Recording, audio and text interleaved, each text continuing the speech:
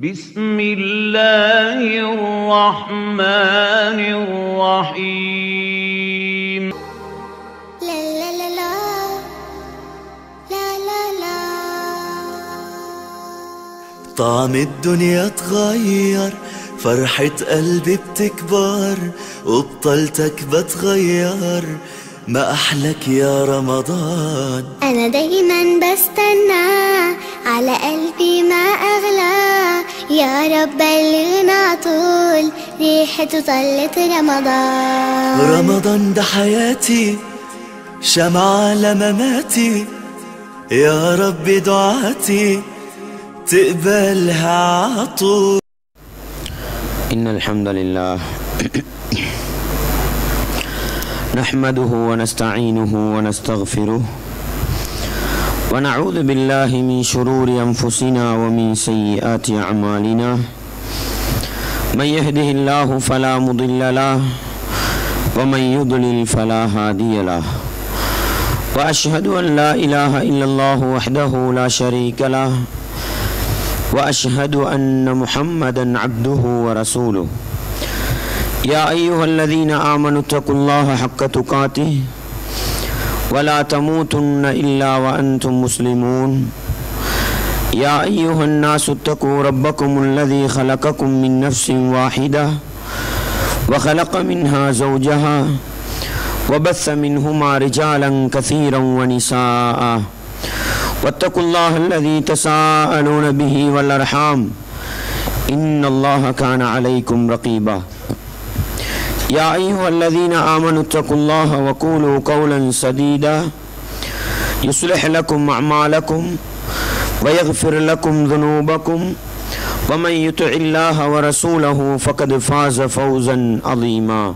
أما بعد فإن أصدق الحديث كتاب الله وخير الهدي هدي محمد صلى الله عليه وسلم وشر الأمور محدثاتها وكل محدثة بدعة வக்குல்ல பிதாத்தின் தலாலா வக்குல்ல தலாலத்தின் ஃபின்னார் வார்த்தைகளில் சிறந்தது வல்லவன் ரஹ்மானின் வார்த்தை என்றும் நடைமுறைகளில் சிறந்தது நபிகளார் சல்லல்லாஹு அலை வசல்லம் அவர்களுடைய வாழ்க்கை வழிமுறை என்றும் அவர்களுடைய வாழ்க்கை வழிமுறைகளுக்கு பின்னால் மார்க்கத்தில் புதிதாக புகுத்தப்பட்டவைகள் கர்மங்களிலே மிக மோசமானவைகள் பிதத்துகள் எல்லா பிதத்துகளும் வழிகேடுகள் எல்லா வழிகேடுகளும் மனிதனை நரகத்துக்கு இட்டு செல்லும் என்று சொன்னவனாக சொற்பொழிவை ஆரம்பிச்சுகின்றேன். அன்பார்ந்த இஸ்லாமிய சகோதரர்களே தாய்மார்களே சகோதரிகளே வல்லவன் ரஹ்மானின் பேரருளால் அவனுடைய மார்க்கத்தை படிப்பதற்காக வேண்டி குர்ஆன் ஹதீஸிலிருந்து ஒரு சில விடயங்களை கற்றுக்கொள்வதற்காக வேண்டி நாமெல்லாம் இந்த இடத்தில் ஒன்று கூடியிருக்கின்றோம். நபிகளார் சல்லல்லாஹு அலைவசல்லமார்கள் சொன்னார்கள் மன் பிஹி கைரன் யுஃபக்கிஹு ஃபித்தீன் அல்லாஹ் யாருக்கு நலவை நாடுகின்றானோ அவனுக்கு மார்க்கத்திலே விளக்கத்தை கொடுப்பதாக சொன்னார்கள். எனவே ஒரு மனிதனோடு அல்லாஹ் இறக்கப்பட்டு விட்டால் ஒரு மனிதனுக்கு அல்லாஹ் அருள் புரிய ஆரம்பித்து விட்டால் அந்த மனிதனுக்கு அல்லாஹ் கொடுக்கின்ற மிகப்பெரிய பாக்கியம் அவனுடைய மார்க்கத்திலே குர்ஆன் ஹதீஸிலே விளக்கத்தையும் தெளிவையும் கொடுப்பதுதான்.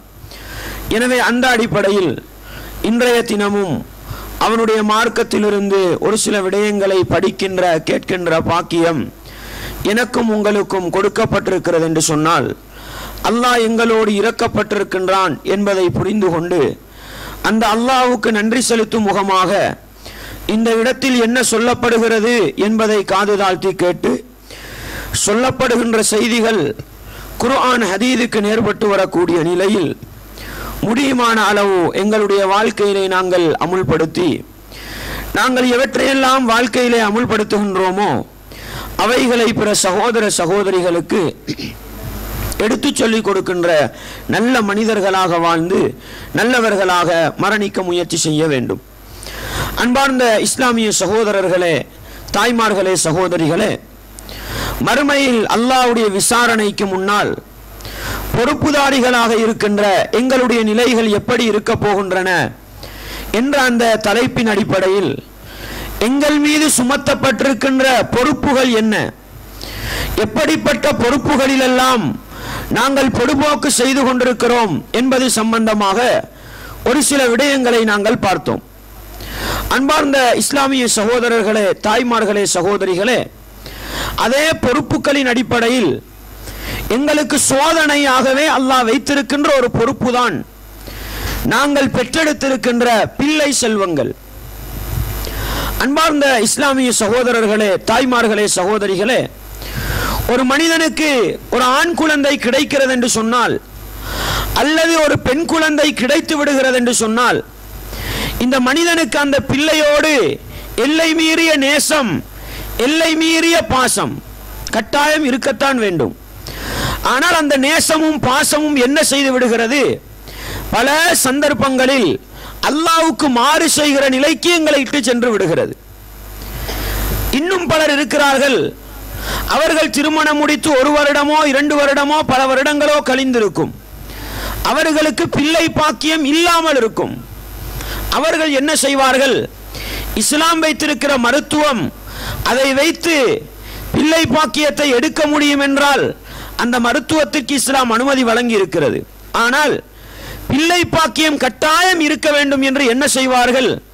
இஸ்லாமிய வரம்புகளை எல்லாம் மீறி செய்யக்கூடாத காரியங்களை எல்லாம் செய்து சிறுக்கான பிதத்தான அனாச்சாரங்களை எல்லாம் என்ன செய்வார்கள்? பிள்ளை பாக்கியத்தை அடைந்து கொள்ள வேண்டும் என்று செய்வார்கள். அன்பாண்டவர்களே இஸ்லாமிய சகோதரர்களே இதுவெல்லாம் என்ன காரணம் என்று சொன்னால் இந்த பிள்ளை பாக்கியம் என்பது என்ன? இந்த பிள்ளை பாக்கியத்துக்குள் இஸ்லாம் மறைத்து வைத்திருக்கிற தத்துவம் என்ன என்பதை படிக்க தவறிவிட்டார்கள் என்று சொல்லலாம். அன்பாண்டவர்களே இஸ்லாமிய சகோதரர்களே பிள்ளை பாக்கியத்தை பற்றி அல்லாஹ் சொல்கிற பொழுது அல் குர்ஆனிலே அழகாக சொல்லி காட்டுகிறான். இனாசன் துக்கூர் அல்லாஹ் தான் நாடிய மனிதர்களுக்கு ஆண் குழந்தைகளை கொடையாக கொடுக்கிறான். இந்த வார்த்தையை தான் நானும் நீங்களும் பதிவு செய்து கொள்ள வேண்டும். அல்லாஹ் எங்களுக்கு பிள்ளை பாக்கியத்தை தருகிறான் என்று சொன்னால் அல்லாஹ் கொடையாகத்தான் தந்திருக்கிறான். அது ஆண் பிள்ளையாக இருக்கலாம் பெண் பிள்ளையாக இருக்கலாம். அல்லது யுசவிஜும் துக்ரானம் வைநாதா அல்லது ஒரு மனிதனுக்கு ஆண் பிள்ளைகளையும் பெண் பிள்ளைகளையும் கலந்து கொடுக்கலாம். அன்பாண்டவர்களே இஸ்லாமிய சகோதரர்களே இந்த இடத்தில் நானும் நீங்களும் புரிய வேண்டிய மிக முக்கியமான ஒரு விடயம் என்னவென்று சொன்னால் அல்லாஹ் தான் நாடிய மனிதர்களுக்கு ஆண் குழந்தைகளை கொடுக்கிறான். தான் நாடிய மனிதர்களுக்கு பெண் குழந்தைகளை கொடுக்கிறான். இந்த அதிகாரத்தை அல்லாஹ் தன்னுடைய கையிலே தான் வைத்திருக்கிறான். இதிலே ஒரு மனிதன் அல்லாவிடத்தில் நேரடியாக யா அல்லாஹ் எனக்கு ஆண் குழந்தையை தந்துவிடு என்று கேட்கலாமா? அல்லது எனக்கு பெண் குழந்தையை தந்துவிடு என்று கேட்கலாமா? என்று சொன்னால் இது இஸ்லாத்தின் அடிப்படையை புரியாததனால் வருகிற விளைவு. ஒரு மனிதனுக்கு இரண்டு பெண் பிள்ளைகள் மூன்று பெண் பிள்ளைகள் நாலு ஐந்து பெண் பிள்ளைகள் என்றால் அவன் எதற்கு ஆசைப்படுகிறான்? ஒரு ஆண் குழந்தை கிடைக்க வேண்டும் என்று ஆசைப்பட்டு யா அல்லா எனக்கு ஒரு ஆண் குழந்தையை தந்துவிடு என்று நேரடியாக கேட்கிறான். சிலருக்கு ஐந்தாறு ஆண் குழந்தைகள் என்றால் அவர்கள் அல்லாவிடத்தில் நேரடியாக கேட்கிறார்கள் யா அல்லாஹ் எனக்கு ஒரு பெண் குழந்தையை தந்துவிடு என்று கேட்கிறார்கள்.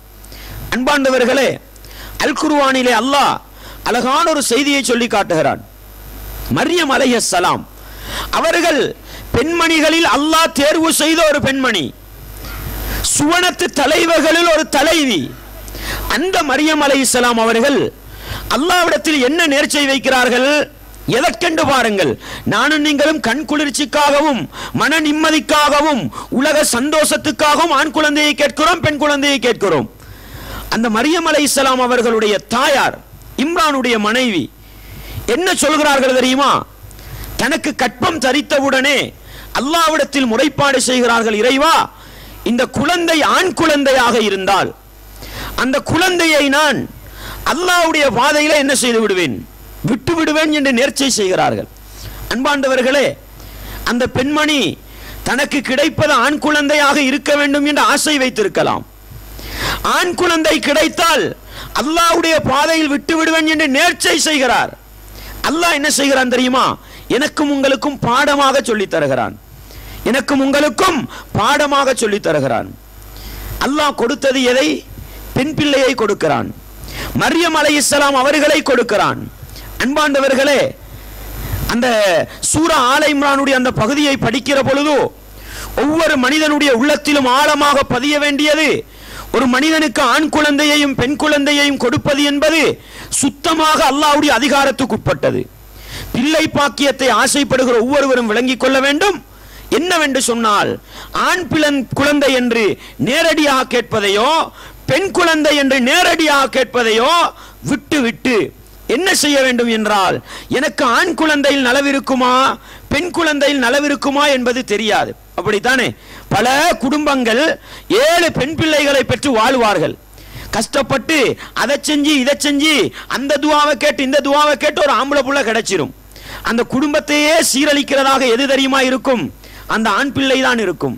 கடைசி கட்டத்தில் மனக்கவலையோடு மன வருத்தத்தோட தெரியுமா சொல்வார்கள்? உன்னைய பெறத்துக்கு ஒரு மாட்டை பெற்றிருக்கலாம்னு சொல்லுவாங்க. கேட்கிறோமா இல்லையா? எங்களுடைய ஊர்வலமையில் பார்க்கிறோமா இல்லையா? ஒருவருக்கு என்ன செய்யும்? ஆண் பிள்ளைகளா கிடைத்திருக்கும். இவர் என்ன செய்வாரு? பொன் பிள்ளையத்தா பெண் பிள்ளையை தாண்டு கேட்பார். அல்லாஹ் கொடுப்பான். என்ன நடக்கும் தெரியுமா? அந்த குடும்பத்தையே சீரழிக்க கூடியதாக அந்த பெண் பிள்ளை இருந்து விடுவதை கண்ணால் பார்க்க முடிகிறது. அன்பாண்டவர்களே இதனால தான் இஸ்லாம் எனக்கும் உங்களுக்கும் அழகான ஒரு பாடத்தை கற்றுத் தருகிறது என்ன தெரியுமா? எதிலே நலவு கெடுதி தெரியாதோ? எதிலே நலவு கெடுதி தெரியாதோ அதிலே அல்லாவிடத்தில் இஸ்திகாரா தான் செய்ய வேண்டும். அழகான ஒரு பாடத்தை நபிகளா சொல்லித் தந்தார்கள். எப்படி? இறைவா நீ சக்தி உள்ளவன் நான் சக்தியற்றவன். நீ அறிந்தவன் நான் அறியாதவன். இந்த அல்லாவை புகழ்கிற முறையெல்லாம் சொல்லிவிட்டு நபிகளார் என்ன செய்ய சொன்னார்கள்? யா அல்லாஹ் எனக்கு ஆண் குழந்தை கிடைப்பதுதான் நல்லம் என்று சொன்னால் அது உலகத்துக்கும் நன்மை மறுமைக்கும் நன்மை என்றால் எனக்கு ஆண் குழந்தையை தந்துவிடு. அல்லது எனக்கு பெண் குழந்தை கிடைப்பதுதான் நல்லமென்றால் எனக்கு பெண் குழந்தையை தந்துவிடு என்று நலவு கெடுதியை அறிந்த அல்லாவிடத்தில் பிள்ளை பாக்கியத்தை அப்படியே விட்டு விடுவோம். இதுதான் ஆரோக்கியம் சகோதரர்களே. எனவே அன்பாண்டவர்களே இஸ்லாமிய உறவுகளே இந்த ஒரு பாடத்தை பிள்ளைகளை ஆசைப்படுகிற நானும் நீங்களும் விளங்கிக் கொள்ள வேண்டும். அதே நேரத்தில் பிள்ளை பாக்கியம் இல்லையா? அல்லாஹ் நாடியவர்களை மலடர்களாக மலடிகளாக ஆக்கி விடுகிறான் இதுவும் அல்லாஹ்வுடைய ஒரு நலவுதான். எனவே அன்பாண்டவர்களை ஏன் தெரியுமா? ஒரு மனிதனுக்கு பிள்ளை பாக்கியம் இல்லை என்று சொன்னால் பின்னால் நான் சொல்ல போகிற விடயத்தை புரிந்து கொள்ளலாம். அதுவும் ஒரு வகையில் பாக்கியம்தான். ஏனென்று சொன்னால் அல்லாஹ் எனக்கும் உங்களுக்கும் பிள்ளை பாக்கியத்தை தந்திருக்கிறான். அவர்களுக்கு செய்ய வேண்டிய கடமைகளை சரியாக செய்யாமல் பால்படுத்தி விட்டு போனால் அல்லாஹ் குற்றம் பிடிப்பானா இல்லையா? பின்னால் உங்களுக்கு நான் சொல்லுகிறேன். அப்படி இருக்கும் பொழுது ஒரு சோதனையாக கிடைக்கிற அந்த பிள்ளை பாக்கியம் ஒரு மனிதனுக்கு இல்லை என்று சொன்னால் ஏதோ நலவிருக்கலாம் என்று அல்லாவுக்கு நன்றி செலுத்தி விட்டு போவதுதான் ஆரோக்கியமே அல்லாமல் ஈமானுக்கு முரணான இஸ்லாத்தின் அடிப்படைக்கு முரணான காரியங்களை எல்லாம் செய்து பிள்ளையை பெற்றுக்கொள்ள துடிக்க கூடாது எனவே அன்பாண்டவர்களே ஒரு மனிதன் பிள்ளை இல்லாமல் இருக்கிறான் என்றால் அதுவும் அல்லாஹ் அவனுக்கு நலவை நாடியதனால் வந்த ஏற்பாடு என்பதை புரிந்து கொண்டால் மனசுக்கு நிம்மதியாக இருக்கும் நோயாளியாக தேவையில்லை குடும்ப வாழ்க்கையில் பிரச்சனை வராது. ஆயிஷா ரதி அன்ஹா. ஆயிஷா ரதி அன்ஹா நபிகளாரோடு வாழ்க்கை நடத்தினார்கள். பிள்ளை பாக்கியம் இருந்ததா? பிள்ளை பாக்கியம் இருந்ததா? இருக்கவில்லை. அந்த சமூகம் ஆயிஷா நாயகியை பழித்ததா? நபிகளார் குறை கண்டார்களா? இல்லை. எல்லா மனைவிமார்களையும் விட அந்த ஆயிஷாவோடு தான் இரக்கமாக இருந்தார்கள். இன்னைக்கு பல குடும்பங்கள் பிரிந்து போவதற்கு இதுவும் ஒரு காரணமாக இருக்கிறது. எது? பிள்ளை பாக்கியம் இல்லை என்பது. அன்பாண்டவர்களே அதுவும் ஒரு மனிதனுக்கு அல்லாஹ் செய்கிற நலவு என்பதை புரிந்து கொண்டால் அன்பாண்டவர்களே இதுவெல்லாம் ஒரு பிரச்சனை அல்ல என்பதை முதல் கட்டமாக விளங்கிக் கொண்டு பிள்ளை பாக்கியம் கொடுக்கப்பட்டவர்கள் தெளிவாக விளங்கிக் கொள்ளுங்கள். இது ஒரு சோதனை. அன்பாண்டவர்களே ஒரு மனிதர்கிட்ட போய் அவருக்கு ரெண்டு ஆம்பளை புள்ள இருக்குது. அவர்கிட்ட போய் ஒருத்தர் சொல்றாரு மாஷா அல்லாஹ் உங்களுக்கு ரெண்டு சிங்கக்குட்டின்றாரு மாஷா அல்லாஹ் உங்களுக்கு ரெண்டு சிங்கக்குட்டின்றார் அவர் திருப்பி சொன்ன பதில் என்ன தெரியுமா? அது சிங்கக்குட்டியா புலிக்குட்டியான்னு வளர்ந்த பிறகுதான் பார்க்கணும்னு சொன்னார். அன்பாண்டவர்களை இஸ்லாமிய உறவுகளை ஏன் அல்லாஹ் போதுமானவன்? வளரக்கூடிய பிள்ளைகளுடைய எதிர்காலம் படைத்தவன் அல்லாவுக்குத்தான் தெரியும். நாங்கள் ஆண் பிள்ளையை வைத்து சந்தோஷப்படுவோம். அந்த ஆண் பிள்ளைகள் எங்களுடைய எதிர்காலத்துக்கு முற்றுப்புள்ளி வைக்கின்ற ஆண் பிள்ளைகளாக இருந்துவிடக் கூடாது. பெண் பிள்ளைகளுக்கு ஆசைப்படுவோம். எங்களுடைய குடும்பத்தை சீரழிக்கிற நிலையில் அந்த பெண் பிள்ளைகள் இருந்துவிடக் கூடாது. எனவே பிள்ளை பாக்கியம் என்பது ஒரு மனிதனின் மீது சுமத்தப்பட்ட மிகப்பெரிய ஒரு பொறுப்பாக இருக்கிறது. எப்படி அல்லாஹ் அல் குர்ஆனிலே சொல்கிறான்? இந்த வசனத்தை புரிந்து கொண்டால் பல பேருக்கு தண்ட வாழ்க்கை பிரச்சனை விளங்கும். அல்லாஹ் என்ன சொல்கிறான் பாருங்கள். யா யுஹல்லதீன ஆமனு. ஈமான் கொண்டவர்களே இன்ன மின் அஸ்வாஜிக்கும் வ அவுலாதிக்கும் அதுவன் லக்கும் உங்களுடைய மனைவிமார்களிலும் உங்களுடைய பிள்ளை குட்டிகளிலும் உங்களுக்கான விரோதிகள் இருக்கிறார்கள். நீங்கள் கவனமாக இருந்து கொள்ளுங்கள். அல்லாஹ் அக்பர். விரோதி எங்கே இருக்கிறான்? விரோதி எங்கே இருக்கிறான்? அல்லாஹ் சொல்கிறான் உங்களுடைய மனைவிமார்களிலும் உங்களுடைய பிள்ளை குட்டிகளிலும் உங்களுக்கான விரோதிகள் இருக்கிறார்கள். கவனமாக இருந்து கொள்ளுங்கள். ஏன் அல்லாஹ் இதை சொல்கிறான்? அறுபத்தி நாலாவது அத்தியாயம் பதினான்காவது வசனம். அன்பாண்டவர்களே இஸ்லாமிய உறவுகளே அடுத்த வசனத்தில் அல்லாஹ் சொல்கிற செய்தியை பாருங்கள். இன்னமா அம்வாளுக்கும் உங்களுடைய சொத்து செல்வங்கள். நேற்றைய தினம் பார்த்தோம் மனிதனுக்கு இருக்கின்ற மிகப்பெரிய ஒரு பொறுப்பு. உங்களுடைய சொத்து செல்வங்கள் வ அவுலாதக்கும் வ அவுலாதுக்கும் உங்களுடைய பிள்ளை குட்டிகள் ஃபித்னா சோதனையாக இருக்கிறது என்று அல்லாஹ் சொல்கிறான். அல்லாஹ் அக்பர். யாரை பார்த்து சகோதரர்களே எதை நாங்கள் கண்குளிர்ச்சி என்று சொல்கிறோமோ எதை நாங்கள் உள்ளத்துக்கு நிம்மதி என்று சொல்கிறோமோ அதற்கு குருவான் சொல்கிற தீர்ப்பு உங்களுடைய விரோதிகள் இருக்கிறார்கள். உங்களுடைய மனைவிமார்களிலும் உங்களுடைய பிள்ளைகளிலும். அடுத்த கட்டம் என்ன? எங்களுடைய வாழ்க்கையை முன்னேற்றக்கூடியவர்கள் ஆண் பிள்ளைகள் அல்லவா? என்று நினைக்கிற எனக்கும் உங்களுக்கும் அல்லாஹ் என்ன சொல்கிறான்? உங்களுடைய பிள்ளைகள் உங்களுக்கு சோதனை. அன்பாண்டவர்களே சோதனை என்று சொன்னால் என்ன?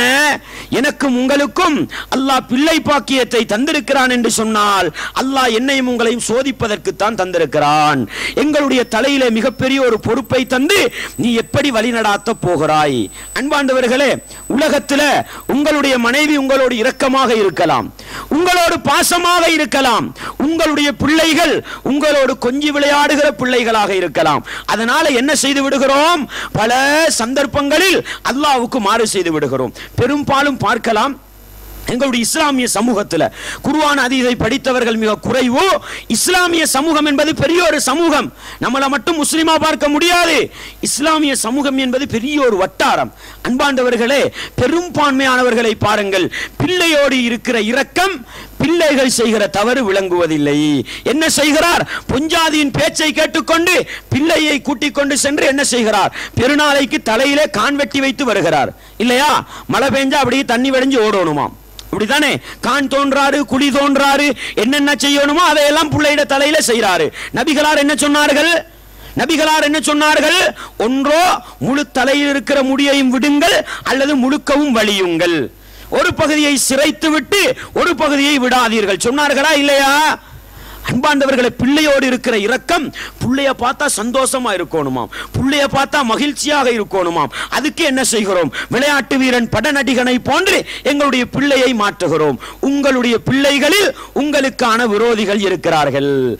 அன்பாண்டவர்களே சில வாப்பமார் உம்மமார் நிலம் என்ன தெரியுமா? ஆண்களுக்கு தங்கத்தை எல்லாம் ஹராமாக்கி இருக்கிறான். ஆண்களுக்கெல்லாம் தங்கத்தை ஹராமாக்கி இருக்கிறான். அந்த தங்கத்தை ஆண் பிள்ளைகளுக்கு அணிவித்து என்ன செய்கிறார்களாம்? மாஷா அல்லாஹ் என்ற புள்ளகி தங்கம் எல்லாம் அல்லாஹ் பாதுகாக்க வேண்டும். அல்லாவை கோபப்படுத்துகின்ற காரியத்தை பிள்ளையோடு இருக்கிற இரக்கத்தினால் செய்துவிட்டு போய்விடுகிறார்கள். உங்களுடைய பிள்ளைகளில் உங்களுக்கான விரோதிகள் இருக்கிறார்கள். எங்க விரோதின்றதை நான் சொல்லி காட்டுகிறேன். அன்பாண்டவர்களை இஸ்லாமிய உறவுகளே அதே போன்று பார்க்கிறோம். பொம்புல புள்ள பெண் பிள்ளைகளுக்கு என்ன செய்கிறார்கள்? ஆணை போன்று முடிவெட்ட வேண்டுமா? ஆணை போன்று என்ன செய்ய வேண்டுமா? ஆடை அணிய வைக்க வேண்டுமா? ஆணை போன்று என்ன செய்கிறார்கள்? பழக்குகிறார்கள். அது காலப்போக்கில என்ன செய்கிறது? மனதிலே ஆம்புல புள்ளன்ற எண்ணத்தை உருவாக்குது. அவர்கள் பெருத்தவுடனே எட்டாம் வகுப்பு ஒன்பதாம் வகுப்பு வரைக்கும் உமா அப்பாட கொண்டோல்ல இருப்பாங்க. அதுக்கு போற அந்த பொம்பளை புள்ள என்ன செய்யும்? ஆம்பளை கூத்து காட்ட ரெடி ஆகும். இல்லையா? அன்பாண்டவர்களே இஸ்லாமிய உறவுகளே பிள்ளைகள் என்பவர்கள் அமானிதம். நம்ம பிள்ளைகளுடைய பிஞ்சு உள்ளத்திலே கெட்ட சிந்தனைகளையும் கெட்ட நடவடிக்கைகளையும் வளர்த்து விடுவோமாக இருந்தால் அதுதான் எங்களுக்கு விரோதியாக வருவார்கள் உலகத்தில் அல்ல உலகத்தில் அல்ல. எங்கே விரோதியாக வருவார்கள் தெரியுமா? நான் பின்னால் சொல்லி காட்டுகின்றேன். அன்பாண்டவர்களே இஸ்லாமிய உறவுகளே நிறைய வாப்பா உம்மாட நிலைமை தெரியுமா? ஏண்ட புள்ள எனக்கு கட்டுப்படணும். நீ அல்லா ரசூலுக்கு கட்டுப்பட்டாலும் சரி கட்டுப்படாவிட்டாலும் சரி எனக்கு கட்டுப்பட வேண்டும். அப்படித்தானே? அன்பாண்டவர்களே எந்த அளவுக்கு இருக்கும் தெரியுமா? பிள்ளையோடு நடக்கிற நடவடிக்கை அது இது எல்லாம் இஸ்லாத்துக்கு முரணானதாக இருக்கும். தான் பெற்றெடுத்த ஆண் பிள்ளையையும் பெண் பிள்ளையையும் வைத்துக்கொண்டு படம் பார்ப்பார்கள். குடும்ப படம் பார்க்கிறார்களாம். குடும்ப படம்னா என்னங்க? குடும்பத்தை சீரழிக்கும் படம். அவ்வளவுதான். குடும்ப படம் என்றால் குடும்பத்தை சீரழிக்கும் படம். அதுல என்னவெல்லாம் படம் பிடிச்சு காட்டுறான்? நம்ம பண்ற பயம் கூட சில நேரம் உங்களோட உள்ளத்துல நிக்காது. பார்த்த படம் ருக்கு செய்யக்கொள்ள சுஜூதி செய்யக்கொள்ள வருதா? விரோதிகளுடைய திட்டம் சகோதரர்களே இன்றைய பாடத்திட்டத்தின் அடிப்படை என்ன தெரியுமா? பாடத்திட்டத்தின் அடிப்படை. ஒரு காலம் இருந்தது வெறுமனே லெக்சர் மட்டும்தான் போகும். இன்றைக்கு வெறுமனே அப்படி போறதில்லை. அப்படியே கம்ப்யூட்டரை பக்கத்தில் வச்சுக்கிட்டு போட்டு காட்டி காட்டி பாடம் நடத்துறான். ஏண்டு கேட்கிறேன் நான்? அன்பாண்டவர்களே ஒரு காலத்தில் ஆனாவை போட்டு அம்மாண்டு போட்டார்கள். ஆவண்ணாவை போட்டு ஆடு என்று போட்டார்கள். இன்னைக்கு சின்ன பிள்ளையிட புத்தாமலாம் எப்படி வருது? ஆனாவுக்கு பக்கத்தில் ஒரு ஆடு அப்படித்தானே? ஆனாவுக்கு பக்கத்தில் ஒரு அம்மா. அதுக்கு பின்னாலதான் தமிழில் போடுறான். ஏன்? அம்மா என்ற சொல் மறந்தாலும் தாயை பார்க்கிற பொழுது சொல் ஞாபகம் வந்துவிடும். அப்படித்தானே? அந்த அளவுக்கு பிக்சரை காட்டி உருவத்தை காட்டி உள்ளத்துக்குள் புகுத்துகின்ற ஒரு கலாச்சாரம் பாடத்திட்டம் இன்றைக்கு வந்திருக்கிறது. அது அப்படியே படத்தில் என்ன செய்கிறான்? எப்படி? வாப்பாவுக்கு எதிராக எப்படி மகன் நடக்கணும்? மகனுக்கு எதிராக எப்படி உம்மா வாப்பா நடக்கணும்? உம்மா பாப்பாட காதுல காது குத்தி போட்டு எப்படி இன்னொரு பொம்பளை புள்ளைய தூக்கணும்? எப்படி பழகணும்? எல்லாம் படிச்சு கொடுக்குறான். அன்பாண்டவர்களே உம்மா பாப்பாவுக்கு விளங்குறது இல்லை ஏன்? ஆம்பளை புள்ளலியா? பொம்பளை புள்ள இறக்கம் பாசம். அப்படித்தாங்க சின்ன புள்ளன்னு சொன்னா அப்படின்னு தலையை தடாவி தலை எல்லாம் போட்டு காட்டுவோம். அப்படித்தானே? எப்ப பிரச்சனை வரும் தெரியுமா? ஓலவழி எழுதி ஏலவெளி எழுதி விட்டு தனக்குரிய பொஞ்சாதியை அழைத்து கொண்டு வருகிற பொழுதுதான் பிரச்சனை. அப்படிதானே அப்ப கூட எதுக்கு தெரியுமா பிரச்சனை? அல்லா ரசூலுக்கு மாறு செஞ்சதுக்கு இல்ல. எதுக்கு பிரச்சனை? உம்மா அப்பாட கௌரவத்தையே வீணாக்கி போட்டான். இதுக்கு தான் பிரச்சனை. அன்பாண்டவர்களே பிள்ளைகளுடைய உள்ளத்தில் ஆழமாக பதிய வேண்டிய உணர்வு என்ன தெரியுமா? நீ எனக்கு கட்டுப்படாவிட்டாலும் பரவாயில்லை உன்னுடைய வாப்பாவுக்கு கட்டுப்படாவிட்டாலும் பரவாயில்லை படைத்தவன் அல்லாவுக்கு கட்டுப்படு என்ற சிந்தனையை கொடுத்தால் பிள்ளைகள் தானாக என்ன செய்வார்கள்? உம்மா வாப்பாவுக்கு கட்டுப்படுவார்கள். எனவே அன்பாண்டவர்களே பிள்ளைகளை பழக்க வேண்டியது அல்லாவுக்கு பயப்படக்கூடிய பிள்ளைகளாக நபிமார் நபிகளாரை பின்பற்றக்கூடிய பிள்ளைகளாக நாங்கள் உருவாக்குவோமாக இருந்தால் எங்களுடைய அமானிதத்தை பாதுகாக்கிற ஒரே வழி இதுதான் சகோதரர்களே. இல்லை என்றால் மிகப்பெரிய விளைவுகளை சந்திக்க வேண்டி வரும். எப்படி? எங்களுடைய வாப்பாமாரோட நிலைமை என்ன? சின்ன புள்ள. ஓடி ஆடி விளையாடுற பருவம் வந்தா கையில என்ன செய்வாங்க? அஞ்சு ரூபா பத்து ரூபா இன்னைக்கு எவ்வளவு போகுது? ஒரு சிகரெட் இருபத்தஞ்சு ரூபா போகுமா? அதை கையில கொடுத்து போய் சிகரெட் வாங்கிக்கிட்டு வான்னு அனுப்புவாங்க. அப்படித்தானே? தவறியாவது மகனுக்கு ஏதாவது ஸ்கூல் வேலை அல்லது ஏதாவது ஒரு விளையாட்டு அப்படி ஏழா வாப்பான்னு சொல்லிட்டா உம்மா அங்கிருந்து சத்தம் போடுவா. என்னடா வாப்பாடா படிக்கிறாய் போடா வாங்கிட்டு வான்னு சொல்லுவா. உம்மா வாப்பா ரெண்டு பேரும் சேர்ந்து மகனை புரோக்கரா பயன்படுத்துறாங்க. எதுக்கு தெரியுமா? இஸ்லாத்தை குழி தோண்டி புதைப்பதற்கு. மகன் என்ன செய்கிறார்? எட்டு வயது வரைக்கும் எட்டு வயசு தானே சாதாரண ஒன்றை விளங்குறது? அது வரைக்கும் சிகரெட் வாங்கி கொண்டு வருகிற போஸ்ட்மேனாக அல்லது புரோக்கராக செயற்படுவார். எட்டு வயசுக்கு போற என்ன தெரியுமா யோசிப்பாரு? வாப்பாவும் வாயில வச்சு தானே பத்த வச்சு இழுத்து பார்க்கிறாரு. நம்ம இழுத்து பார்த்தா என்னன்னு புள்ள யோசிக்கும். தவறா? நான் கேட்கிறேன் தவறா? உங்களுக்கு யோசிக்கலாம் புள்ள யோசிக்கப்பட அப்படியா? உங்களுக்கும் புத்தி இருக்கிறது பிள்ளைக்கும் புத்தி இருக்கிறது. நீங்களும் சோற்றை தான் சாப்பிடுகிறீர்கள் பிள்ளையும் சோற்றை தான் சாப்பிடுகிறது. ஏன் புள்ள அப்படி சிந்திக்க கூடாது?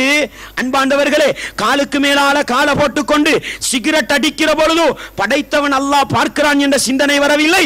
உங்களுக்கு முன்னால உங்களோட மகன் சிகரெட்டை குடிக்கும் பொழுது என்னடா இது? வாப்பாவுக்கு மறுவாதி இல்லாம நடக்கிறான் என்ற சிந்தனை வருதா? அன்பாண்டவர்களே இஸ்லாமிய உறவுகளே பிள்ளைகளை கெடுத்தது யார்? அமானித மோசடி செய்தவர்கள் யார்? பொறுப்புகளை பால்படுத்தியவர்கள் யார்? அன்பாண்டவர்களே சிகரெட்டு குடிக்க பழக்குபவர்களாக நாங்கள் தான் இருக்கின்றோம். அன்பாண்டவர்களே உம்மா மாறு. உம்மமாருக்கு என்ன நிலைமை? சரியான பெருமை. என்ற புள்ள ரிமோட் கவுண்டர் எடுத்து அத்துப்படி. எனக்கு கூட டிவியை பிரட்ட தெரியா? என்ற புள்ள பிரட்டி உடைச்சி நொறுக்கிடுவான். அப்படிதானே அன்பாண்டவர்களே இன்னைக்கு கேபிள் டிவியில என்னென்னமோ சேனல் இருக்குது. உம்மாக்கும் வாப்பாக்கும் எப்படி மாற்றணும் எப்படி போடணும்னு தெரியா? புள்ளத்தான் என்ன செய்யுது?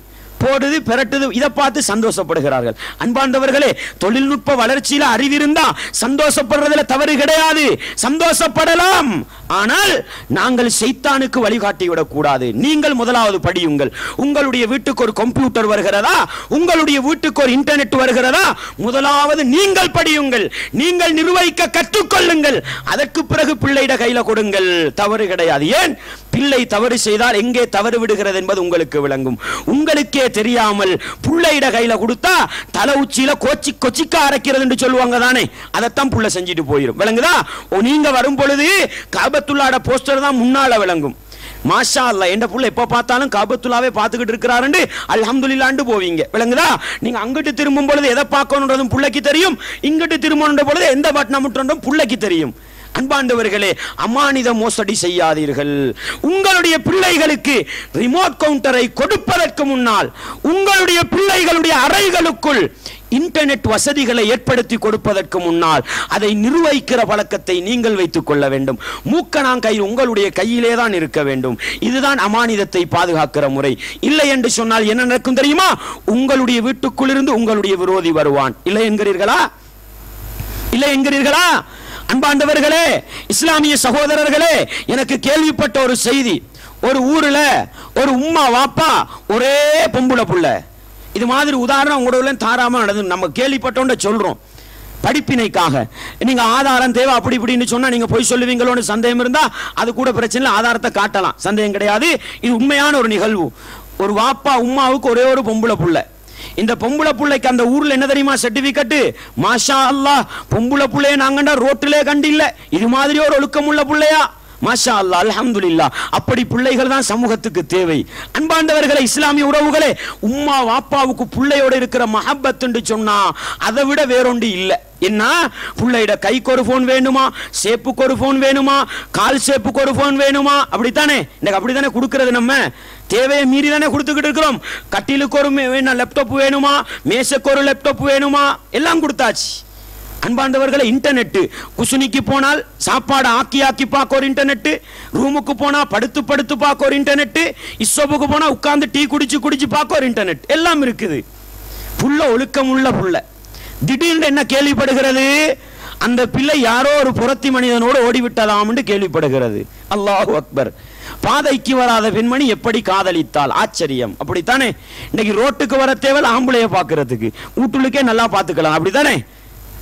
ஏன் சகோதரர்களை என்ன காரணம்?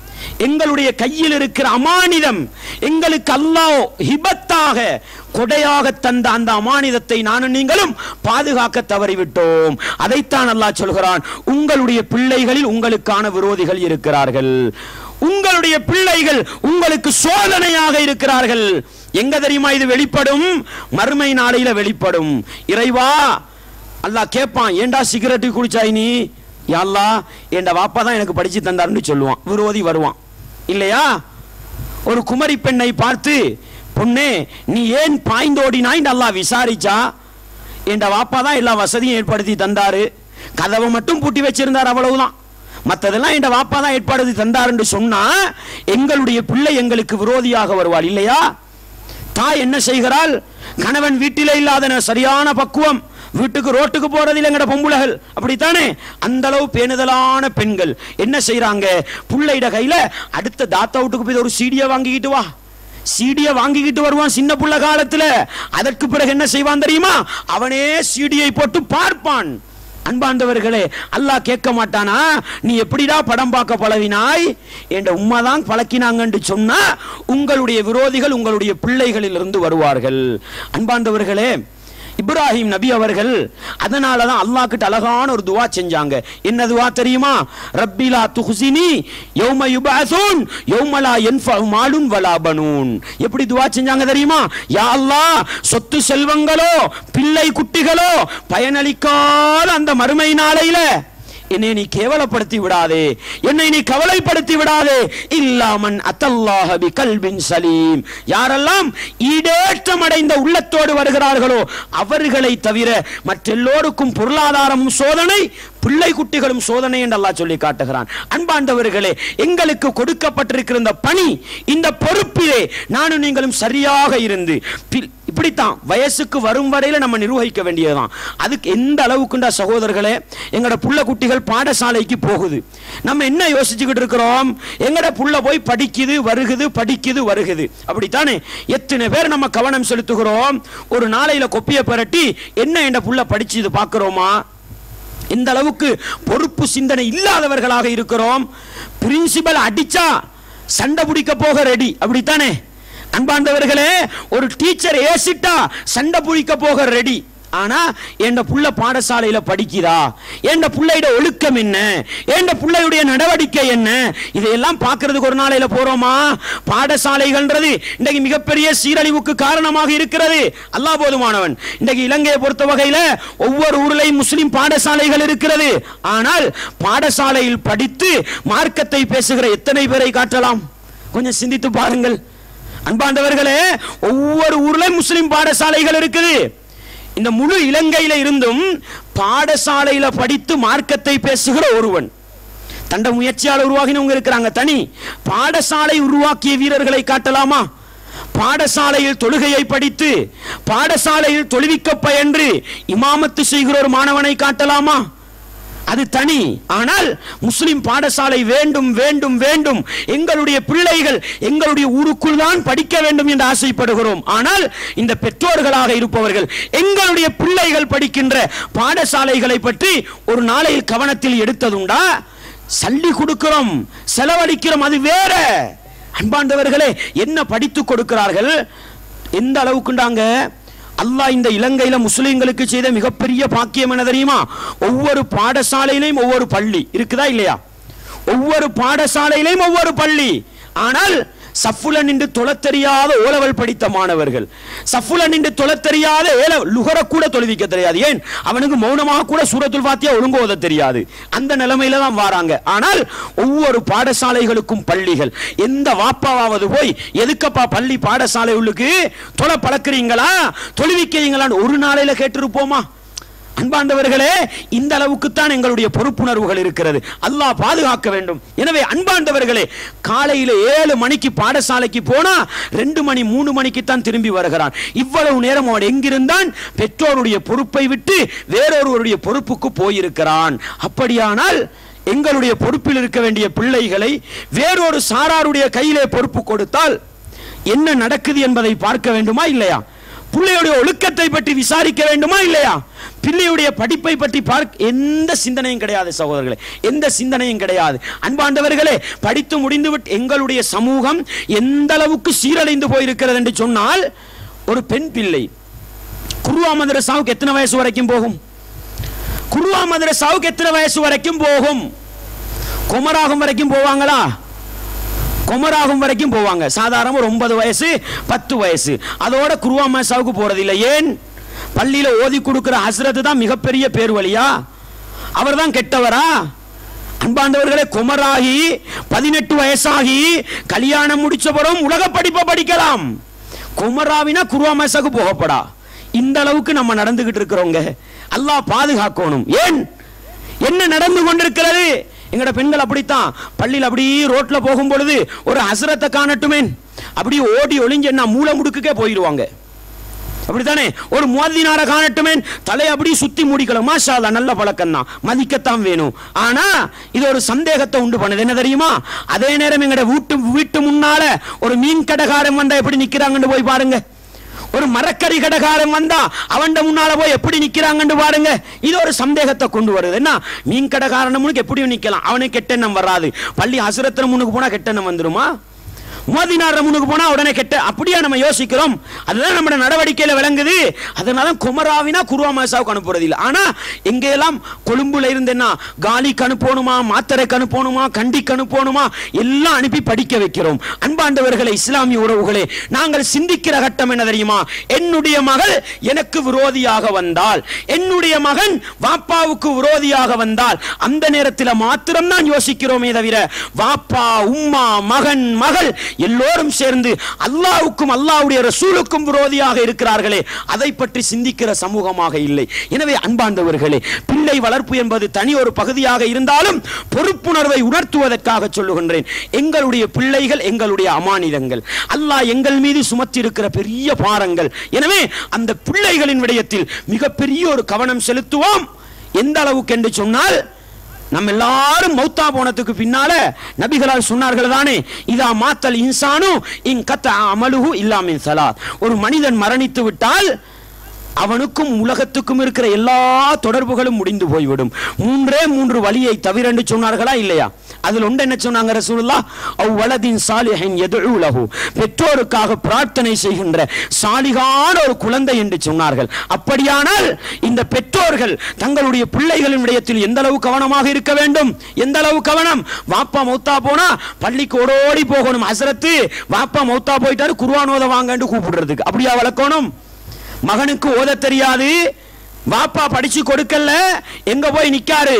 யாசின் ஓதுறதுக்கு லப்பைய கூப்பிட்டுக்கிட்டு இருக்கிறார். அல்லாஹ் பாதுகாக்க வேண்டும். அன்பாண்டவர்களே உங்களுடைய பிள்ளைகளுக்கு நீங்கள் அழிவுபா தாசாண்டு படிச்சு கொடுக்குறீங்க. முதலாவது உங்களுக்கு தெரியும் தனி. விளங்குதா?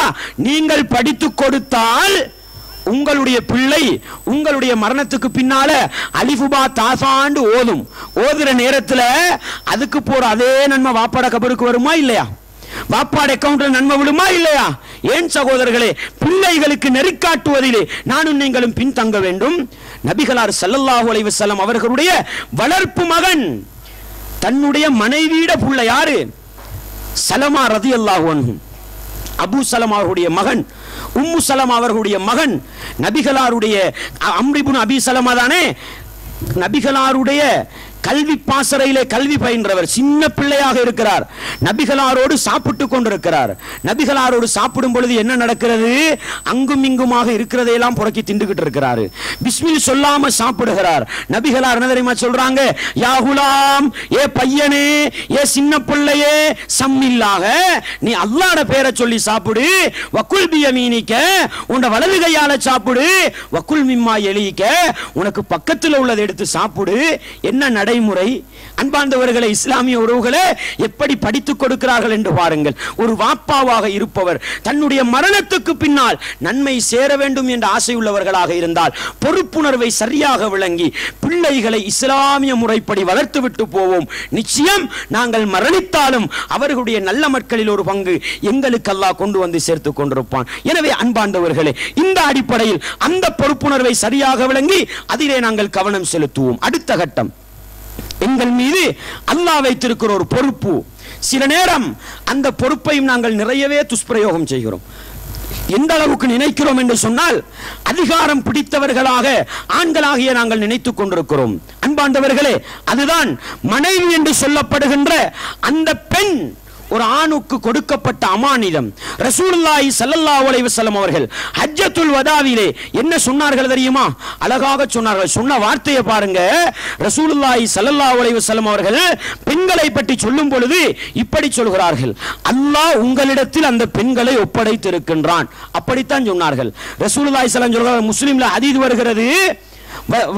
இன்னக்கும் அகல்துமூஹுன்ன பி அமானில்லா. எப்படி? அல்லாவுடைய அமானிதத்தை கொண்டு அந்த பெண்களை நீங்கள் எடுத்திருக்கிறீர்கள். அமானண்டா என்னங்க? அமானத்து நம்ம ஏற்கனவே வெஸ்னாலி சொன்னோம். அமானத் என்பதுதான் பொறுப்பு அமானிதம். அல்லாஹ்வுடைய பேரை சொல்லி மனைவிமார்கள் என்ற அந்த பெண்களை நாங்கள் கரம் பிடித்திருக்கிறோம். வஸ்தஹலல்தும் ஃபுரூஜஹுன்ன பி கலிமத்தில்லா.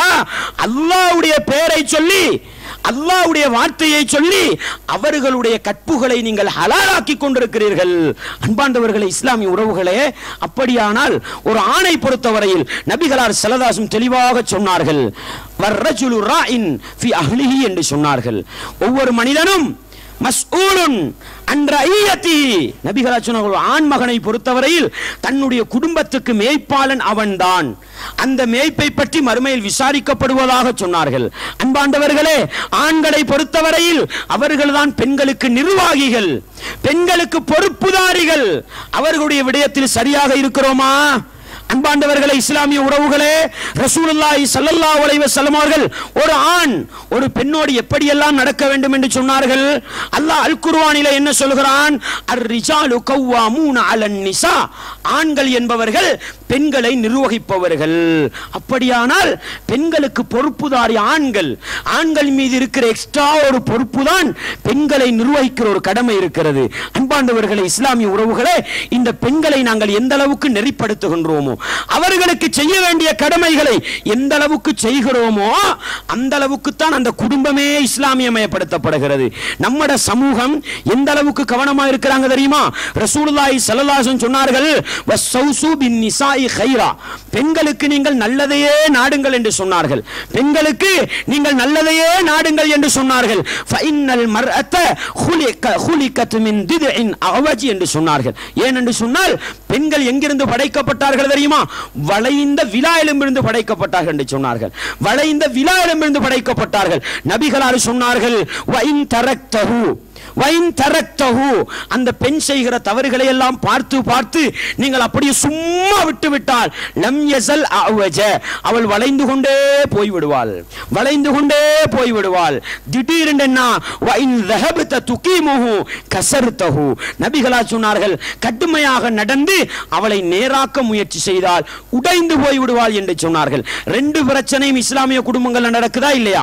ஒரு சாரார் என்ன தெரியுமா? அவர்கள் கண்டது நின்றதுக்கெல்லாம் பொஞ்சாதிடம் மூஞ்சில பாயிறது கண்டது நின்றதுக்கெல்லாம் அடி. கண்டது நின்றதுக்கெல்லாம் ஏச்சி. இப்படியே நடந்து நடந்து பொஞ்சாதிர மனசு உடைஞ்சு போய் மாப்பிள்ளை எதை சொன்னாலும் கேட்கறது இல்ல மாப்பிள்ளை வந்து காலில் போடுற செருப்புக்கும் கணக்கில்லை. அப்படித்தானே? நபிகளார் சொன்னார்கள் நீங்கள் கடுமையாக நடந்து அந்த பெண்ணை நேராக்க முயற்சி செய்தால் அவள் உடைந்து போய் விடுவாள் அல்லாஹ் பாதுகாக்க வேண்டும். பெண்களோடு எந்த அளவு நளினமாக எந்த அளவு இரக்கமாக எந்த அளவு மென்மையாக போய் திருத்த முடியுமோ அந்த அளவுக்கு திருத்த முயற்சி செய்ய வேண்டும். பொம்புல தானே என்னதான் செய்ய? மனைவியோடு இருக்கிற இரக்கம் பாசம் செய்யறதெல்லாம் பார்த்துக்கிட்டு சும்மா இருந்தா அப்படியே வளைஞ்சுக்கிட்டு போயிடுவாள் அதையும் ரசூலா எச்சரிக்கை பண்ணினார்கள். அன்பாண்டவர்களை இஸ்லாமிய உறவுகளே எனவே ஒரு ஆண்மகனை பொறுத்தவரையில் அவனுக்கு இருக்கிற பொறுப்புகளில் மிக முக்கியமான ஒன்றுதான் அல்லாஹ்வுடைய பேரை சொல்லி வாங்கிய தேர்ந்தெடுத்த அந்த பெண் மக்களுடைய விடயத்தில் மிக கவனமாக இருக்க வேண்டும். இல்லை என்று சொன்னால் மறுமையில் இருக்கிற விசாரணைகளுள் உங்களுடைய மனைவிமாரை பற்றிய ஒரு விசாரணையும் உங்களுக்கு இருக்கிறது என்பதை மறந்துவிடக் கூடாது. நபிகளார் நேரடியான வார்த்தையில் சொன்னார்கள் அல்லவா? உங்களுடைய மனைவிமாரை பற்றி நீங்கள் விசாரிக்கப்படுவீர்கள். அல்லாஹ் குருவால் என்ன சொல்கிறான்? யா அய்யுஹல்லதீன ஆமனு ஈமான் கொண்டவர்களே கு அன்புசக்கும் நீங்கள் உங்களை நரகத்தை விட்டும் பாதுகாத்துக் கொள்ளுங்கள். அதோடு நிறுத்தி கொண்டானா அகிலீக்கும் உங்களுடைய குடும்பத்தை நரகத்தை விட்டும் பாதுகாத்துக் கொள்ளுங்கள். அன்பாண்டவர்களே எனவே ஒரு மூமினான மனிதன் எப்படி தன்னை நல்லவனாக வாழ வைக்க விரும்புவானோ எப்படி தன்னை சுவனத்துக்குரியவனாக வாழ வைக்க விரும்புவானோ அதே போன்றுதான் தன்னுடைய மனைவிக்கு அறிவுரை சொல்லி மனைவிக்கு புத்திமதி சொல்லி முடியுமானால் அவளை திருத்த முயற்சி செய்ய வேண்டும். அன்பாண்டவர்களே இன்றைக்கு எந்த அளவுக்கெல்லாம் கொடுமை நடக்குது தெரியுமா? அல்லாட பேரை சொல்லி திருமணம் முடிச்சிட்டு நேரத்துக்கு நேரம் சந்தர்ப்பத்துக்கு சந்தர்ப்பம் மனைவி வந்து உம்மாட வீட்டுக்கு விரட்டுறது. நடக்குதா இல்லையா? எதுக்கு? உண்ட சாதிச்சு கொள்றதுக்காக நீ போ உண்ட உம்மாட வீட்டுக்குன்னு விரட்டி விடுறது. என்ன நடக்குது? மாப்பிள்ளை எதை கேட்கிறாரோ அதை கொடுத்தா திருப்பி பொம்பளை வரலாம். இல்லைண்டா வர முடியாது. இதெல்லாம் சாதாரணமான ஒரு பிரச்சனையா? மறுமையில எல்லாம் சும்மா விடுவான்னு நினைக்கிறீங்களா? சில நேரம் கணவன் தொல்லை தாங்க இல்லாம பொம்பளை சும்மா இருக்கலாம். ஏதோ முடிச்சிட்டோம் அப்பா வாழ்வோம்ன்றதுக்காக சும்மா இருக்கலாம். ஆனால் படைத்தவன் அல்லாஹ் நீங்கள் உங்களுடைய மனைவிமார்களுக்கு செய்கிற ஒவ்வொரு அநியாயத்தையும் பதிவு செய்துதான் வைக்க போகிறான். பதிவு செய்துதான் வைக்க போகிறான். அதையெல்லாம் மறுமை நாளில் அல்லாஹ் அப்படியே உங்களுக்கு முன்னால் அப்படியே விரிச்சு காட்டி ஏண்டா இப்படி செய்தா? என்று கேட்டால் முதலாவது நான் சொன்னேன் அல்லவா மன் நூக்கிசல் ஹிசாப யார் துருவி துருவி விசாரிக்கப்படுவாரோ அவர் அழிந்து போவார் என்று சொன்னார்கள். நபிகளார் எந்த அளவுக்கு சொன்னார்கள் தெரியுமா? லா யஜ்லிது அஹதுக்கும் இம்ராத்தஹு ஜில்தல் அபுதி என்று சொன்னார்கள். உங்களில் யாரும் தன்னுடைய மனைவிமாருக்கு அடிமைகளை அடிப்பது போன்று அடிக்க வேண்டாம். அடிமைன்ற ஒரு சாரார் இருந்தாங்க தெரியுமா உங்களுக்கு? இஸ்லாம் அடிமையை ஒழிச்சு போட்டது. அடிமைன்ற அந்த வார்த்தைக்கே இடமில்லாமல் ஆக்கி போட்டது. அந்த அளவுக்கு இஸ்லாம் நிறைய கடமைகளுக்கு பால்படுத்தப்படுகிற பொழுது அடிமைகளை உரிமை விடுவதை கடமையாக்கி அடிமை கலாச்சாரத்தை இஸ்லாம் ஒழிச்சுது. அடிமண்டா எப்படி தெரியுமா? ஆடு மாடுகள் போலலாம் அவர்கள்கிட்ட வேண்டிய மாதிரி வேலை வாங்கலாம். தேவையில்லண்டா வித்து போடலாம். வேறொரு அடிமையை வாங்கலாம். தவறு செஞ்சா அடிக்கலாம் உதைக்கலாம். எல்லாம் செய்வாங்க. அப்படித்தான் அடிமைகள் பாவிக்கப்பட்டார்கள். நபிகளா நதனிமா சொல்றாங்க? அடிமைகளை அடிப்பது போன்று உங்களோட புஞ்சாதிமாரை அடிக்காதீங்க. அடிச்சு போட்டு என்ன செய்யாதீங்க? இரவு நேரமாகினா உங்களோட புஞ்சாதிமார்கிட்ட போய் கொஞ்சி கொள்ளாதீங்க. அப்படியே ரசூலா சொல்றாங்க. அன்பாண்டவர்களே பகல் முழுக்க அடிக்கிறது கட்டிலுக்கு போகும் வரைக்கும் சண்டை. கட்டிலுக்கு போன போற என்ன? ரசூலா அப்படியே சொல்றாங்க ஏன்? ஒரு ஆண் மகன் தனக்கு தைரியம் இருக்கிறது தனக்கு பலம் இருக்கிறது தனக்கு சக்தி இருக்கிறது என்பதற்காக அந்த பெண்ணை போட்டு அடிக்கலாமா? நெய்ய புடைக்கலாமா? அல் குருவானிலே அல்லாஹ் சொல்கிற அடிப்படையை உள்ளத்தில் ஆழமாக நிறுத்திக் கொள்ளுங்கள். ஒரு பெண்மணிக்கு அடிக்க வேண்டிய கட்டம் எது? முதலாவது ஒரு ஆண் மகன் விளங்க வேண்டியது ஒரு மனைவி தனக்கு செய்ய வேண்டிய கடம் என்ன? ரசூல் அதையெல்லாம் சொல்லிட்டு போனாங்க. அதையெல்லாம் விளங்காததுனால தான் நிறைய குடும்பத்தில் கணவன் மனைவி கடையில் சண்டை. நபிகளார் தெரியுமா சொன்னாங்க?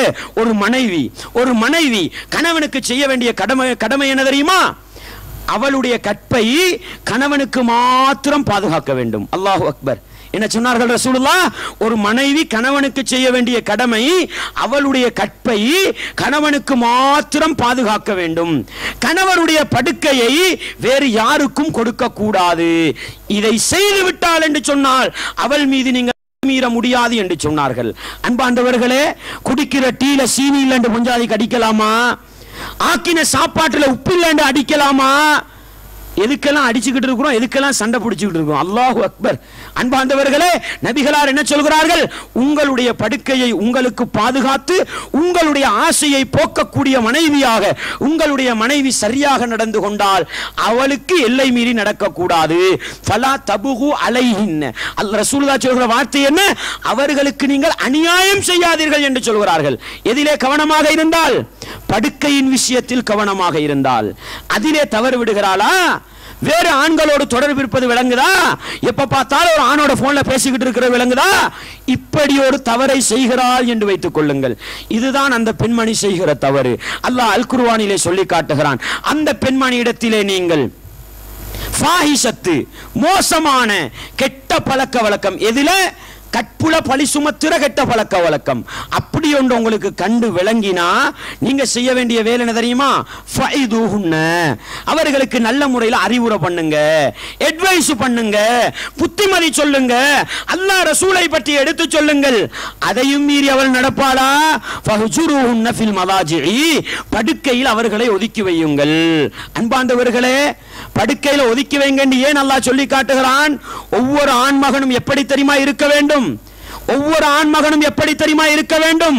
மனைவியோடு இருக்கிற நெருக்கம் ஒரு நாளைக்கு கணவன் பக்கத்துல படுக்கலண்டா அதுதான் மனைவிக்கு பிரச்சனையா விளங்கணும். அந்த அளவு நெருக்கமா பழகணும். அந்த உறவு முறை இருக்குதா? அந்த உறவு முறை இருக்குதா? ரசூலுல்லாஹி ஸல்லல்லாஹு அலைஹி வஸல்லம் அவர்கள் ஆயிஷா நாயிட வீட்டுல தங்குவாங்க. ஆயிஷா நாயிட வீட்டுல தங்குவாங்க. திடீர்னு ஆயிஷா நாய் முழிச்சு பார்ப்பாங்க ரசூலா இருக்க மாட்டாங்க. என்ன செய்வாங்க தெரியுமா? படுக்கும் பொழுது ஆயிஷா நாயகி பக்கத்தில் தான் படுத்தாங்க. விடிச்சு பார்ப்பாங்க ரசூலா இருக்க மாட்டாங்க. என்ன செய்வாங்க தெரியுமா? ரச- ஆயிஷா நாயே சொல்லுவாங்க அண்டைக்கு எங்களுடைய வீடுகளிலே விளக்கு இருக்கவில்லை. அதனால் அப்படியே தொட்டு தொட்டு தொட்டு பூமியில் அப்படியே தொட்டு தொட்டு தேடிக்கிட்டு போவாங்க. ரசூலுல்லா பள்ளி ஓரத்தில் சுஜூதில் இருப்பாங்க. ஏன் தேடி போனாங்க? ஆயிஷா நாயகியை பொறுத்த வகையில் ரசூலுல்லாவுக்கு இன்னும் ஒன்பது மனைவிமார் இருக்குது. பக்கத்துல தான் வீடுகள் இருந்தது. அடுத்த பொஞ்சாதி வீட்டுக்கு போயிருவாங்களோன்னு தான் தேடி பார்க்குறாங்க. இல்லைன்றீங்களா? அன்பாண்டவர்களே ஒரு நாள் ரசூலுல்லாஹி ஸல்லல்லாஹு அலைஹி வஸல்லம் அவர்கள் ஆயிஷா நாயோட வந்து படுக்கறாங்க. ஆயிஷா நாயும் தூங்குற மாதிரி இருக்கிறாங்க. ரசூலா திடீர்னு எழும்பி சத்தம் இல்லாம உடுப்பெடுத்து போடுறாங்க. சத்தம் இல்லாம கதவை திறந்து கொண்டு அப்படியே போயிடுறாங்க வெளியே.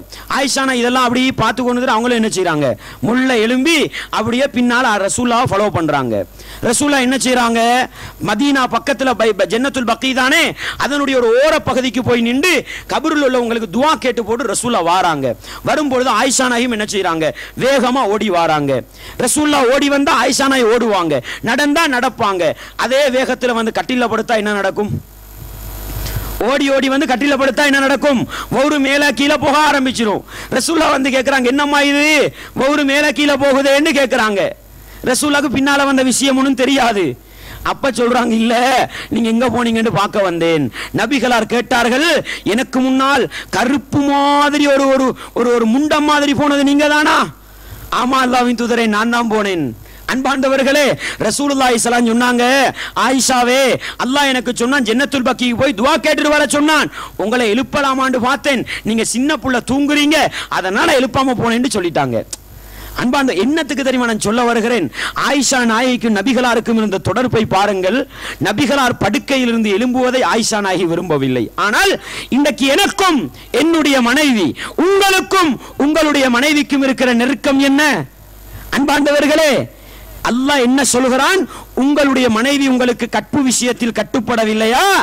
படுக்கையில் ஒதுக்கி வையுங்கள். அப்படின்னா படுக்கையில் நெருக்கம் இருக்கணும். ஒதுக்கினா பொஞ்சாதிக்கு தாங்க கூடாது ஹார்ட் அட்டாக் வரணும். அந்த அளவுக்கு நெருக்கமான வாழ்க்கை இருக்கும். அப்பதான் திருத்தலாம் பொஞ்சாதி மாற. இன்றைக்கு என்ன? நீ வந்தாலும் சரி வராட்டியும் சரின்னு இருந்தா எப்படிங்க சரி வரும்? அன்பாண்டவர்களே அப்படிதான் நம்மளோட வாழ்க்கை இருக்குது? அல்லாஹ் போதுமானவன். எனவே அன்பாண்டவர்களே தேவைக்காக கொடுக்கல் வாங்கலுக்காக வெளியே வந்திருக்கிறோம். அது உடனே ஒரு சில நேரம் சந்தேகம் வந்துடும் அப்படித்தானே? என்னடா இவரும் மூணு நாளா கொழும்புல தான் இருக்கிறாரு? இவருக்கும் பிரச்சனையான அப்படியா அன்பாண்டவர்களே உடல் அளவில் பிரிந்திருந்தாலும் உல அளவில் பிரியக்கூடாது கணவன் மனைவி. இன்றைக்கு எவ்வளவு பெரிய வசதி இருக்குது? பொஞ்சாதிர கையில போன் வாங்கி கொடுத்துட்டு வந்திருக்கிறீங்களா? அவள் உட்காந்துக்கிட்டு எங்கேயோ இந்தியாவில் படம் நடிக்கிறவனை பார்த்துக்கிட்டு இருக்கப்படாது. அந்த உறவு வரக்கூடாது. எப்போ பார்த்தாலும் இஸ்கைப்பை பார்த்துக்கிட்டு இருக்கோம் எப்படா என் மாப்பிள்ள கோல் எடுப்பாளுண்டு. இந்த உறவு வரணும். விளங்குதா? ரெண்டு நாளைக்கு ஃபோன் எடுக்கலையா? அங்கே பொம்பளையில நாக்கு காயணும். அந்த அளவுக்கு உறவு முறை இருந்தா அதுதான் வாழ்க்கை என்பது. அதுதான் சந்தோஷம் என்பது. ரெண்டு நாளைக்கு இஸ்கைப்பில் மாப்பிள்ள வரலையா? அவளுக்கு அதுதான் பிரச்சனை ஆகணும். அன்பாண்டவர்களே இஸ்லாமிய உறவுகளே இப்படிப்பட்ட நெருக்கமான ஒரு உறவு முறை இருந்தால் படுக்கையில் பிரித்து வையுங்கள் அல்லாஹ் சொல்கிறான். அதுக்கும் கட்டுப்படலையா? அல்லாஹ் சொல்கிறான் காயம் வராமல். ரசூல்லா சொன்னாங்க உள் தாக்கமோ வெளித்தாக்கமோ வராம ரெண்டு தட்டு தட்டுங்க. அதையும் கேட்கலையா? சண்டை பிடிச்சிக்கிட்டு குடிகார மாதிரி வாழ்க்கை நடத்தப்படாது. சில குடும்பம் அப்படித்தானே எப்போ பார்த்தாலும் சண்டை. ஊர் முழுக்க இந்த குடும்பத்தை பத்தி தெரியும் என்ன இங்க போனா நல்ல ஒரு ஷோ பார்த்துட்டு வரையிலும். அந்த அளவுக்கு என்ன? சில குடும்பத்தில் எப்ப பார்த்தாலும் சண்டை. இப்படி ஒரு வாழ்க்கையை இஸ்லாம் அங்கீகரிக்கவில்லை. இஸ்லாம் சொல்கிறது தட்டி பாருங்கள் அடித்து பாருங்கள். சரி வரவில்லையா? சண்டை பிடிச்சி பிடிச்சி வாழ்வோம். என்னதாங்க செய்ய முடிச்சிட்டோம் வாழ்வோம். அப்படி வாழ சொல்லிச்சுதா இஸ்லாம்? இல்ல. அல்லாஹ் சொல்கிறான் அந்த கட்டத்துக்கு வந்தும் பெண்மணி கட்டுப்படவில்லையா? அவளோட குடும்பத்தை கூப்பிடுங்க. உங்களோட குடும்பத்தை கூப்பிடு. இதுக்கு தான் சாட்சி வைக்கிறது. இதுக்கு தான் பத்து பேருக்கு முன்னால திருமணம் நடத்துறது. உங்களோட குடும்பத்தை கூப்பிடுங்க. அவரோட குடும்பத்தை கூப்பிட்டு ஒரு நீதிபதியை வச்சு என்ன செய்யுங்க? பேசி பாருங்க. அறிவுரை சொல்லி பாருங்க. சரி வரலையா பொண்ணு? உன்னோட எனக்கு வாழ முடியாது. நீ போய் வேற வாழ்க்கையை தேடிக்க. நான் போய் வேற வாழ்க்கையை தேடிக்கொள்வேன் என்பதுதான் இஸ்லாமிய திருமணத்தின் நோக்கம். இதுதான் ஒரு ஆண் மகன் தன்னுடைய மனைவியை எப்படி நிர்வகிக்க வேண்டும் என்ற பாடத்தை படித்துக் கொள்ள வேண்டும். அன்பாண்டவர்களை இஸ்லாமிய உறவுகளை. எனவே இது போன்ற அறிவுகள் இல்லாததன் காரணமாக நிறைய பிரச்சனை. சில குடும்பத்தில் பிரச்சனையே என்ன தெரியுமா? சந்தேகம். பொஞ்சாதிக்கு மாப்பிள்ளையில மேல சந்தேகம் மாப்பிள்ளைக்கு பொஞ்சாதி மேல சந்தேகம். எந்த அளவுக்குன்னு சொன்னா படுதூறு சொல்லிக் கொள்வாங்க உனக்கு அந்த பொம்பளையோட தொடர்பு இல்லையா? யார் பொம்பளை. இவர் உனக்கு அந்த ஆம்பளையோட தொடர்பு இல்லை. இப்படியெல்லாம் யோசிக்கல்வாங்க. அன்பாண்டவர்களே இப்படிப்பட்ட சந்தேகம் வந்து விட்டால் இஸ்லாம் சொல்கிற மிக முக்கியமான சட்டம் என்ன தெரியுமா? லியான் என்ற ஒரு சட்டத்தை சொல்லி வைத்திருக்கிறது. லியான் என்ன தெரியுமா? கணவன் மனைவி பதுவா செய்து கொள்கிற சட்டம். மனைவியின் கற்பிலே கணவனுக்கு சந்தேகம் வந்து விட்டால் அதுக்கு பிறகு வாழ முடியாது. அதுக்கு பிறகு வாழ முடியாது. அந்த சட்டத்தை நீங்க தேடி படிச்சுங்க டைம் போதாது. அன்பாண்டவர்களே இன்னைக்கு நிறைய குடும்பங்கள்ல பிரச்சனையே அதுதான். சந்தேக பார்வை அன்பாண்டவர்களை இஸ்லாமிய உறவுகளை. எனவே ஒரு ஆண் மகன் விளங்க வேண்டும் மனைவி என்பவள் என்னுடைய பொறுப்பில் இருப்பவள். அவளை நிர்வகிக்க தெரிய வேண்டும். இல்லை என்றால் குடும்பத்திலே பிரச்சனை வரும். அதே போன்றுதான் ரசூலுல்லாஹி சல்லல்லாஹு அலைஹி வஸல்லம் அவர்கள் பெண்களை பற்றி சொன்னார்கள். வல் மர்அத்து ராயியத்துன் ஃபீ பைத்தி ஜௌஜிஹா ஒரு பெண்ணை பொறுத்தவரையில் கணவனுடைய வீட்டுக்கு அவள்தான் பொறுப்புதாரி என்று சொன்னார்கள். அல்லாஹு அக்பர். அன்பாண்டவர்களே ஆண் மகன் எப்படி பெண்மணிக்கு பொறுப்புதாரியோ அதே போன்று மனைவியை பார்த்து நபிகளா சொன்னார் சொன்னார்கள் ஒரு பெண்மணி கணவனுடைய வீட்டுக்கு பொறுப்புதாரி. எப்படி? கணவன் வீட்டில் இல்லையா? கணவனுடைய பிள்ளைகளை அவள்தான் பராமரிக்க வேண்டும். கணவனுடைய பிள்ளைகளுக்கு அவள்தான் ஒழுக்கமூட்ட வேண்டும். கணவனுடைய சொத்தை அவள்தான் பாதுகாக்க வேண்டும். கணவனுடைய வீட்டை அவள்தான் பாதுகாக்க வேண்டும். அன்பாண்டவர்களே இஸ்லாமிய உறவுகளே இது பெண்கள் மீது இருக்கிற கடமை. என்ன? எப்படா கணவன் வீட்டை விட்டு வெளியே போறான்னு இருக்கிறது. இவள் என்னதுக்கு? வீட்டை பூட்டிட்டு வேற எங்கேயாலும் போறதுக்கு. நடக்குதா இல்லையா? இந்த அனாச்சாரங்களை சமூகத்துல பார்க்குறோமா இல்லையா? அன்பாண்டவர்களே கணவனுடைய எந்த அனுமதியும் எடுக்காமல் கணவனோடு எந்த தொடர்பும் வைக்காமல் கணவன் அங்க போயாச்சு இவன் முள்ள என்ன? வேற எங்கேயாலும் போய் இது நின்று கல்றதுண்டா? தப்பான இடத்துக்கல்ல எங்கேயோ வேற சொந்தக்காரங்க வீட்டுக்கோ எங்கேயாவது போய் நிற்கிறது கேட்டா என்ன? உங்களோட வீட்டில தான் இருக்கிறேன் வீட்டில தான் இருக்கிறேன். அன்பாண்டவர்களே கணவன் வீட்டிலே இல்லாத நேரம் மனைவிதான் அந்த வீட்டுக்கு பொறுப்புதாரி. மனைவிதான் அந்த வீட்டுக்கு சொந்தக்காரி. அவள்தான் அந்த வீட்டை நிர்வகிக்க வேண்டும் என்ற கடமைகளை எல்லாம் இஸ்லாம் சொல்லி தந்திருக்கிறது. எனவே அன்பாண்டவர்களே இஸ்லாமிய சகோதரர்களே இந்த பொறுப்புணர்வுகளை குடும்ப வாழ்க்கையோடு சம்பந்தப்பட்ட பிள்ளைகள் என்ற பொறுப்பாக இருக்கலாம் கணவனுக்கு மனைவி என்ற பொறுப்பாக இருக்கலாம் மனைவிக்கு கணவன் என்ற பொறுப்பாக இருக்கலாம். இந்த பொறுப்புகளை எல்லாம் சரியாக விளங்கி ஒவ்வொருவருக்கும் செய்ய வேண்டிய கடமைகளை சரியாக செய்கிற பொழுதுதான் மறுமையிலே வெற்றிக்குரிய மனிதர்களாக மாறலாம். இல்லை என்று சொன்னால் அல்லாஹ் சொல் ரசூலுல்லாஹ் சொன்னது போன்று ஒவ்வொருவரும் மேய்ப்பாளர்கள். உங்களுடைய மேய்ப்பை பற்றி அல்லாஹ் மறுமை நாளையிலே விசாரிப்பான். எனவே அன்பாண்டவர்களே இந்த மேய்ப்பு உணர்வு இந்த சிந்தனை மறுமையிலே அல்லாஹ் கேள்வி கேட்பான் என்ற அந்த சிந்தனை. எந்த கட்டத்திலும் எங்களுடைய உள்ளத்திலே இருக்க வேண்டும் அந்த அடிப்படையிலே தான் எங்களுடைய வாழ்க்கை பயணிக்க வேண்டும். எனவே இப்படி நாங்கள் வாழ்வோமாக இருந்தால் எங்களுடைய குடும்ப மட்டம் நல்லதாகி எங்களுடைய குடும்பத்திலிருந்து வளர்ந்து வரக்கூடியவர்கள் இஸ்லாமிய உணர்வுள்ளவர்களாக வந்து அதன் மூலம் சமூகத்திலே பெரிய ஒரு மாற்றம் வருவதற்கு அது காரணமாக இருக்கும். எனவே வல்லவன் ரஹ்மான் எங்கள் மீது என்னென்ன பொறுப்புகளை சுமத்தி இருக்கின்றானோ அந்த பொறுப்புகளை எல்லாம் உணர்ந்து அல்லாஹ்வுடைய மறுமை விசாரணையை பயந்து அந்த பொறுப்புகளின் விடயத்தில் சரியா கரிசனை செலுத்துகின்ற நல்ல மனிதர்களாக என்னையும் உங்களையும் வாழச் செய்து மரணிக்கச் செய்வானாக. வாஹிர் தவானா அனில் அஹமதுல்லாஹி ரப்பில் ஆலமீன்.